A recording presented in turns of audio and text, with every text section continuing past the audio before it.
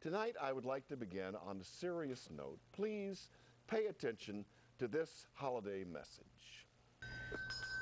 This is Major Steve Morris of the Salvation Army, wishing you the best of the holiday season and reminding you it's better to give than to receive. Whoever gave Arch Campbell this show must really believe in charity. Yeah, that's that wacky Salvation Army. anyway, many thanks to the Major for coming in. And uh, they are a great organization and they deserve your